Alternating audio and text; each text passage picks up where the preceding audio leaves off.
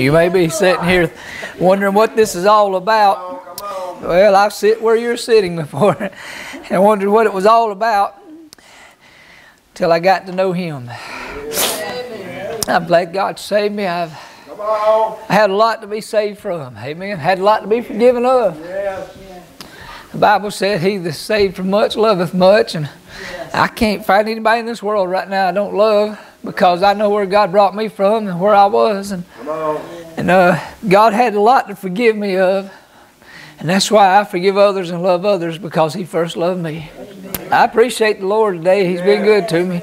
I thank Him for saving me and making a change in my life that nobody else can make. I've made plenty of mistakes and have done a lot wrong in my life. I'm not giving the devil any credit. What I'm just trying to tell you is it ain't about how I am or who I am, it's who He is right. and what He's done at Calvary to save some wretch like me. And God can do the same for you. Amen. If God's done that for me, He can do it for anybody. If you have your Bibles, let's turn to John chapter 14. John chapter 14, we'll begin reading in verse 1 and read down to verse 6. It's a very familiar verse of Scripture this morning. Uh, some of you may be disappointed that I'm not preaching on Mother's Day or about the topic, and I'm not insensitive to that topic, but I do like to be sensitive to the Holy Spirit and preach what God would have me to preach. There's times where God has allowed me to preach on the resurrection on Easter, and there's been times I didn't preach on the resurrection on Easter. There's been times I preached about uh, the birth of Jesus on Christmas, and there's been times I hadn't preached on that. And today, there's been times I preached about mothers and fathers on Mother's Day and Father's Day, but today I just feel led. They sung the songs there about about heaven and things like that and got my mind on that and opened my Bible up to something I studied recently and looked at. And John chapter 14 and verse 1, the Bible says, Let not your heart be troubled. You believe in God, believe also in me. In my Father's house are many mansions. If it were not so, I would have told you. I go to prepare a place for you. And if I go and prepare a place for you, I will come again and receive you unto myself that where I am, there you may be also. And whither I go, you know, and the way you know. Thomas said unto him, Lord, we know not whither thou goest, and how can we know the way? Jesus said to him, I am the way, the truth, and the life. No man cometh unto the Father but by me. Our Heavenly Father, I want to thank you for this another day to be, be able to gather in the house of God. Feel your presence, Lord, and your power. Lord, is a young child, I was afraid and scared of this kind of service. I was wondering what it was about and wondering because because I didn't know the Holy Spirit. I didn't know God and the free pardon of sin. I didn't know your Son, and therefore, Lord, I didn't know what to think. But God, I thank you today that I came to that day and time and place in my life where I realized I needed a Savior. I accepted you as my personal Savior, and now I know a little bit about what's going on today. I thank Him, praise you, God, that not only in this life, but I have hope of eternal life in heaven now. I have perfect peace that surpasses all understanding. Lord, I have forgiveness of my sin. And Lord, I know that that that you've extended to me, you've extended to all. It's not your will that any would perish. And today I pray that there won't be a soul in this place be able to leave this house of worship without getting on their knees and calling on God for salvation today, that they'll get to know that perfect way, that perfect truth, and that perfect life of eternal life. God, that they'd come to know you as their personal Savior, not somebody somebody that the preacher preached about, not somebody that mama and daddy and grandma and grandpa talked about, but today will be the day of salvation for that lost soul, that sinner that sits in the house of God. I pray that conviction will be so strong they won't be able to leave this place without falling on their face before God and asking God for forgiveness and salvation the same way as millions and millions of others have done in this lifetime. We thank you and praise you for Calvary. We ask God you bind Satan. that He wouldn't be able to hinder us today, that the Word of God and the Spirit of God will have free course in this place. In Jesus' name we pray. And amen. He said, Let not your heart be troubled. You know, there's a lot of people come in the house of God because their hearts are troubled. That's why they go to funerals because their heart's troubled over losing loved ones. That's why they go to the house of God because their heart's troubled about where their life is and the direction that their life's headed in. And many times you hear these scriptures read at funerals about let not your heart be troubled, and it talks about a place called heaven and uh, what God has prepared for His people who have faith in Him. And I want to preach on this thought today: how to get to heaven. How to get to heaven. You may have come to church today wondering how to get to heaven. You may be coming to church today thinking and wondering why do people go to church? Why do people get up and go to church on Sunday? Why do people get up? And, why do preachers study the Word of God and get up and preach? Why? I'll tell you why. It's all about going to heaven. It's all about being saved, being forgiven of your sins, and going to heaven. Now, when it's all said and done, it's all about going to heaven. You know that? If you took away church and you took away all the worship and all this that we experience here in this life, if we could get to go to heaven, Brother Charles, it'd all be worth it. You know that? Amen. It'd all be worth it in order to go to heaven. But I'm glad God gives us all this and heaven too. Ain't you? I'm glad I get to experience God's presence here. I get to experience God's power here. I get to experience God's blessings here. And then when it's all said and done and I've enjoyed this life, not endured this life, I get to go to heaven when it's all said and done. What a blessing that is. Amen. Jesus speaks of many mansions here that's in my Father's house. He talks about if and when He goes away, He will prepare a place for you and He will come again. Now, I'm not sure if everybody gets a mansion or not. I really ain't concerned with that, to be honest with you. But I know I've heard people say that they can't wait to get in their mansion in heaven. Well, I'm not sure if you got one, and I'm not sure if I got one. He don't say you do have one. What he says is there's many mansions there. Amen. And then he says, I go and prepare a place for you. So I'm not trying to just dissect something to the point where you misquote it. I'm just saying, I don't even know if I got a heaven. I don't know if you got one. I ain't really concerned about it, be honest with you. But if God gives me a heaven, I mean a mansion in heaven, I guess I'll be pretty pleased, won't you? I believe I'll be pleased with everything about heaven. I believe it's going to be better, far better than anything I've ever experienced in this side of life. And good thing is I'll experience it in a glorified body. Everything I experience over there will be new and afresh. It'll be far better than anything I've seen here. It'll be far better than anything I've felt, anything I've ever touched, or anything I've ever seen. Eyes have not seen, ears have not heard, and neither has entered the heart of man what God has prepared for His people. And I get to do it in a glorified body, a body I've never had before. I've never experienced a body with no pain. Experienced a body with no suffering. I've never experienced a body with no sin. But one day, Brother Rick, when I step over into the portals of glory through those gates of pearl and walk on the street of gold, I'll get to see Jesus as He is. And it'll be with a perfect eyesight. It won't be by faith. I'll be looking at the one that laid down His life for me. Hey, don't you want to go to heaven when it's all said and done? I want to go to heaven when it's all over, don't you? I don't believe it'll matter that, about whether it's a mansion there for me or for you or for whoever. I don't really think that matters. The key is what he's saying here is the fact that you'll be with him. That's what he said. He said, I'll come again and I'll receive you, and where I am, there will you be also. See, God's already been where we are. We're going one day where he is. Amen. He's already seen us in this life. One day we're going to see him in eternal life. We'll get to be with God forever. And everybody's saying, You will be with me. I believe when we finally get in the full presence of God in all his splendor and glory, we'll no longer uh, be here, but we'll be there in the presence of God. I don't think it'll matter what's there. I believe we'll be thankful just to be there. I think we'll enjoy everything that's there, no matter what it is. Everything will be new and afresh. Everything will be glorious. Everything will be precious. Everything will be holy when we get to heaven and we get to experience in a glorified body. And you don't think much about that, but you wait till sickness hits your body, amen, and you'll be getting to think more thankful about that glorified body. I'm not sure what it's all going to be like, but I know that it'll be better than anything I've ever experienced. I can't explain it, Brother John. It does say, eyes have not seen, ears have not heard, and it either enter the heart of man what God has prepared for His people. But God has revealed these things to us by His Spirit. Through the Holy Spirit, God's revealed these things to us, but we ain't experienced them yet. God has revealed it through the Spirit, through the Word of God. We do know something about what awaits us on the other side. That's a lively hope in Jesus Christ. We know a little bit about a better place, but we ain't experienced it yet. You think it's good here, you just wait till you get over yonder. You think it's good here to feel the presence of God here. Wait till there is no sin to hinder you. Wait till there is no devil to defeat you. You wait till there's nothing here to keep you when you get on the other side to see Him in His perfect holiness, in His perfect glory. And there is nothing to withhold. There's nothing, no flesh to hold you down or hold you back. I'm telling you, it'll be better than anything you've ever seen in this life.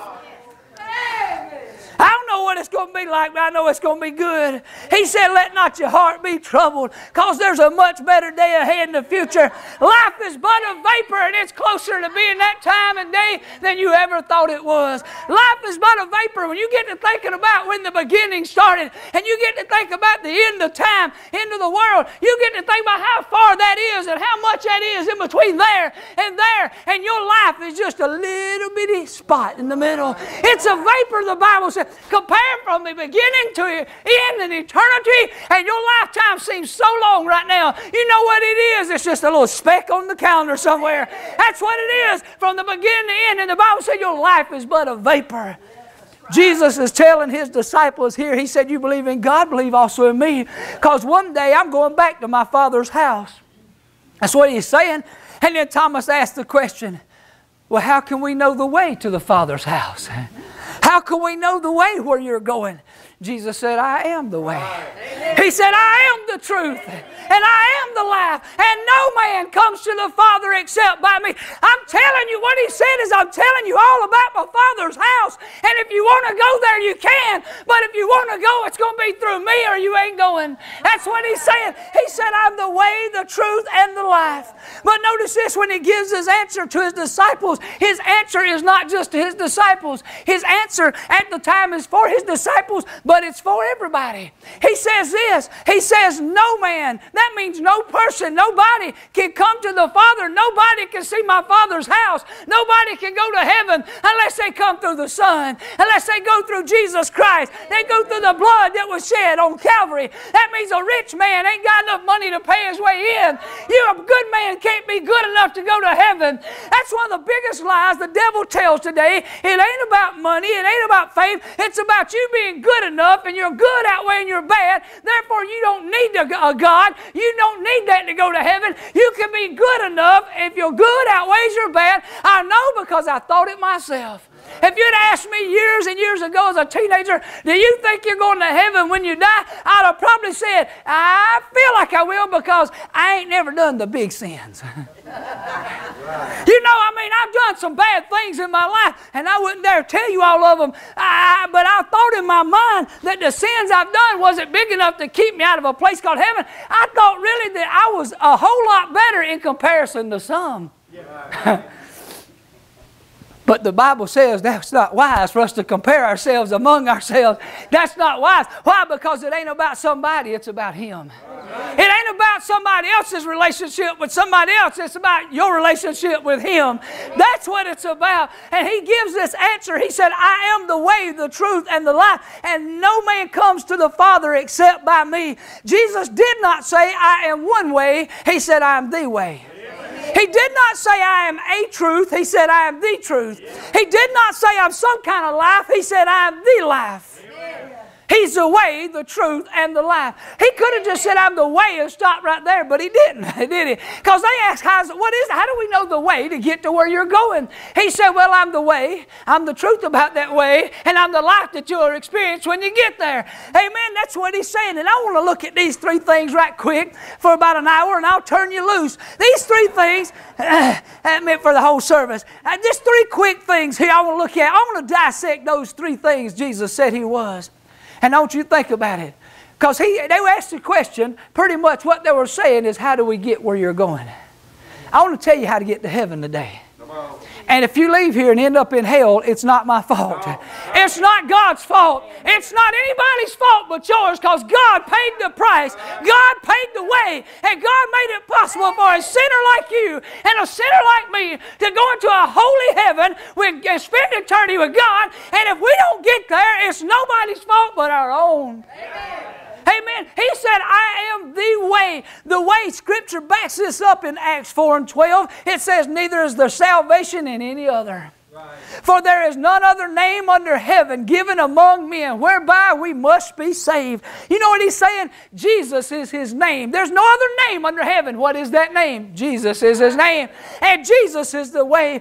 1 Timothy 2 and 5 says there is one God and one mediator between God and man and that man is Jesus Christ. That's what the Bible says. He is the one mediator between God and man. If you want to get to God, you're going to have to go through His Son. He's the one mediator, He's the one God. It's not in Buddha, it's not in Allah, it's not the Muslim way, it's not the Hindu way. Jesus is the way to heaven if you want to know how to get to heaven. He is the way. It's not through Catholicism, it's not through catechism, it's through God's Son, Jesus Christ, is how you get to heaven.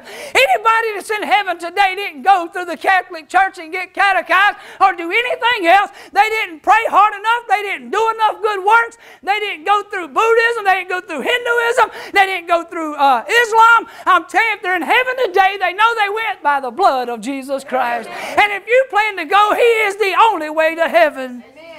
And critics would say, well, how do you know he's the only way? There's many other religions that claim the same thing that you're claiming, but he's the only one that's ever proved it. He is. You say, how do you think that? Why do you think that? Because all other religions believe in a dead God. All other religions believe in a statue. All other religions believe in some God that you can't feel, you can't touch, you can't see. I mean, they just believe in something and it's not supernatural. Some of them believe in a man called Joseph Smith, for crying out loud, who's still dead in his grave. He is not in heaven and he's not sitting in the right hand of Father. He ain't heard one prayer they prayed and he can't do anything about their present situation. But Jesus Christ, the Bible said, was alive and he was dead, but now he is alive forevermore. He conquered death, hell, and the grave. He was resurrected the third day.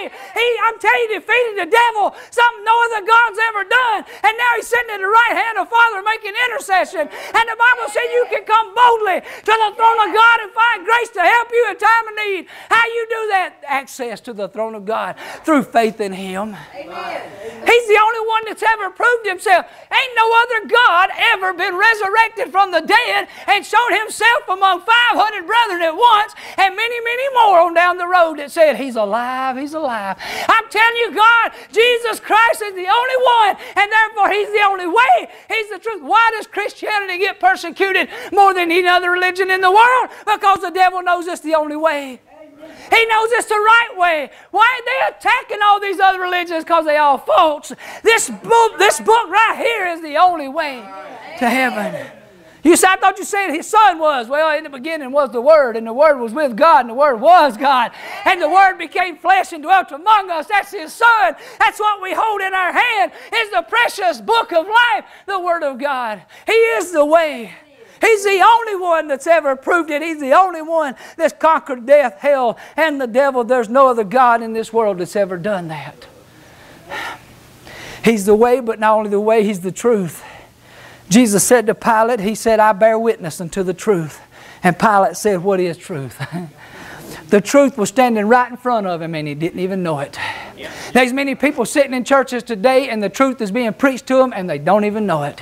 The truth is being told them not because of who's saying it, but because of what they said. It's because what they read that the truth is right before them and they will not. Pilate would not accept him as the truth. And there's many people in churches today that will not accept Jesus as the truth. But I'm telling you, he is. He is the, he, the Bible says he's full of grace and truth.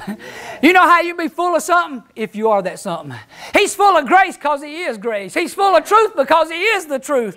This is the truth, the whole truth, and nothing but the truth, so help me God. This is the truth. Do you know that this, this country we live in, that yes, as bad as it is, it used to believe that this was the truth?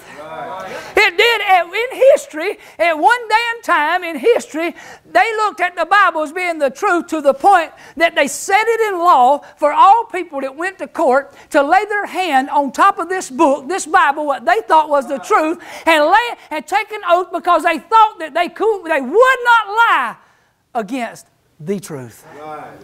Why would they ever do that? Why would this be the standard for everybody in the whole country if they didn't think it was the truth. Not a truth, not some truth. They thought it was the truth. They didn't do it with no other books. You know why? They thought that was the truth. Yes. I got news for them. It still is the truth. This world may go to hell in a handbasket. Our politicians may send it there, and a lot of churches may send it there. But I'm telling you what, this will stand when the world's on fire. This is the truth, the Word of God. It's the only infallible truth in this world is the Word of God. He said, I'm the way and I am the truth. Hey, I got good news for you. He's still the truth. The whole world can turn against the truth, but it will not ever change the truth. God said, I am the Lord and I change not.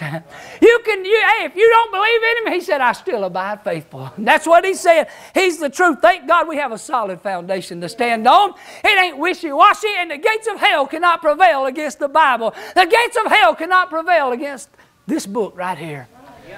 Amen. And that's what the church is founded on. He is the truth. He's the way, He's the truth, but He's also the life. But there's different ways of this to look at this. How is He the life? First of all, He's the source of life. Most of you know, if you've ever been in church any time in your life, maybe in Sunday school or something as a kid, you heard them talk about Adam and Eve.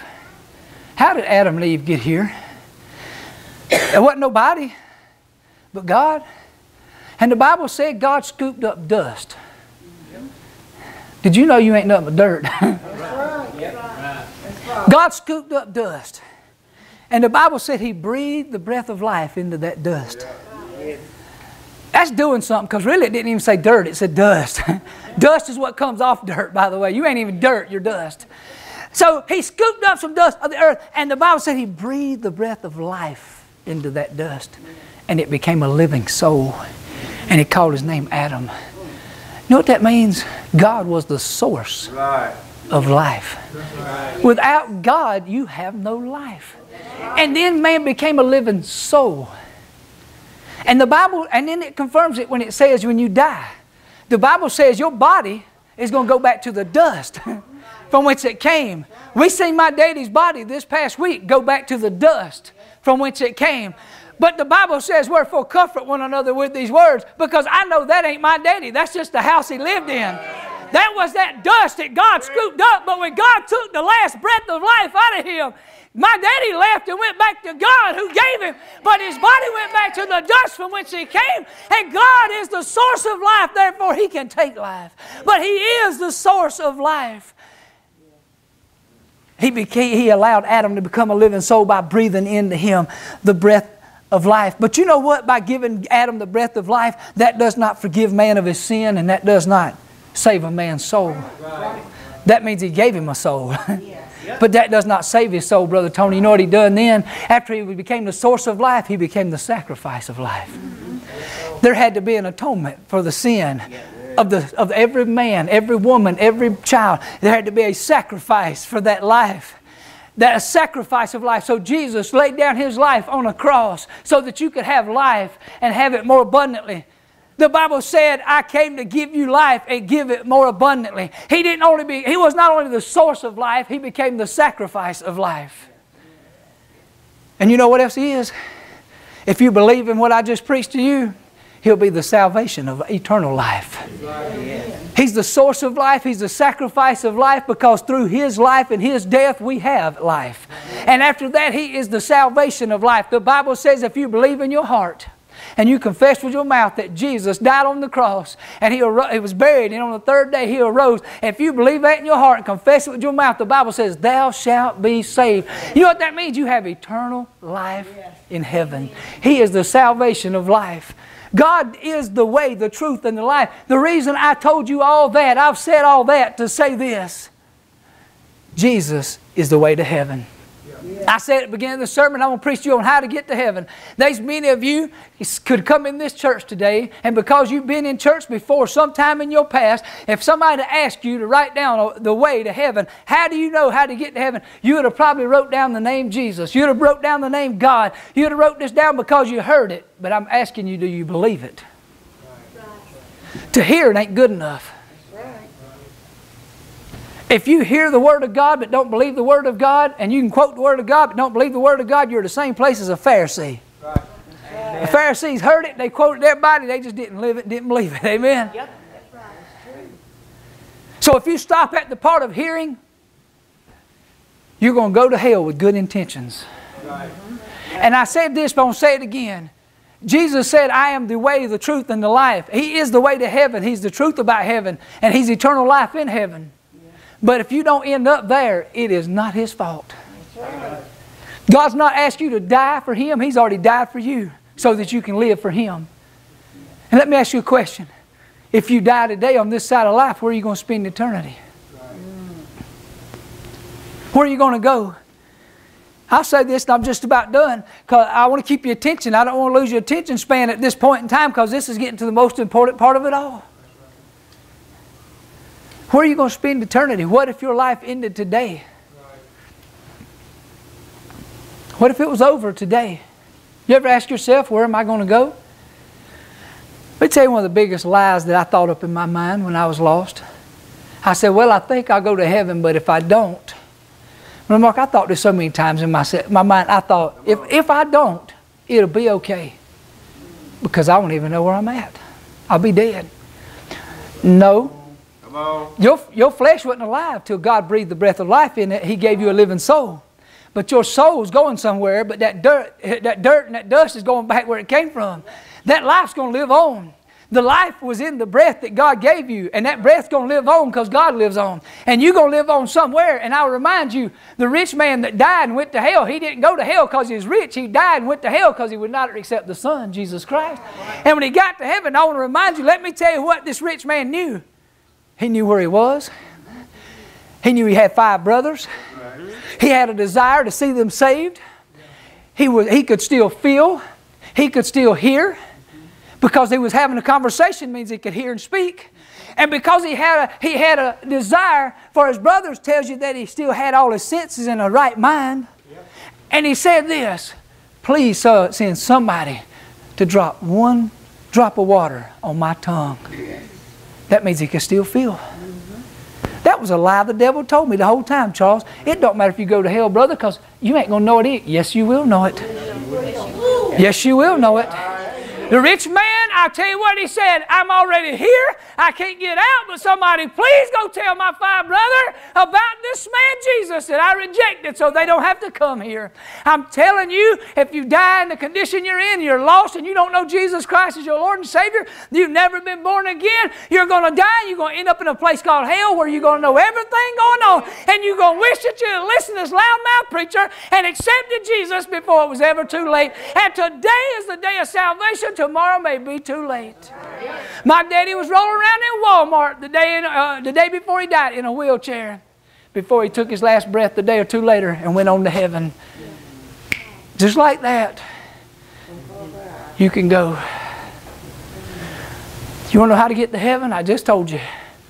My question is, do you want to go? Come on to the piano, sister, but don't, don't, don't tune me out yet. We see the commercial all the time. It says, highways or dieways. Choice is yours. What that means is you can choose to drink and drive and have and have much more opportunity to die in a car wreck from drinking. Or you can not drink and drive and have a whole lot better chance of not dying in a car wreck because you're not drunk. That's what that's you got an option there. You got a choice to make. Highways or dieways, the choice is yours. Ain't you glad God gave you the choice? He didn't say, you got to have this much money if you want to come to my kingdom. You're going to have to live up to my standard and do everything I tell you in order to get into my kingdom. No, uh-uh. He gave you the choice. He said, if you believe. He that is believeth not, he's condemned already. But he that believeth, he's not condemned. Friend, if you want to go to heaven, Jesus is the way, Amen. the truth, and the life. And if you want to go to heaven today, it ain't about how good you are, it ain't about how much money you got, it ain't about what you have done or what you're going to do. It's about the decision you make today whether to accept His Son or reject His Son. I promise you that rich man in hell wish he had the same opportunity you have here today, and that is to accept Jesus as your Lord and Savior. Because He said, I'm the way, the only way to heaven. Let's all stand.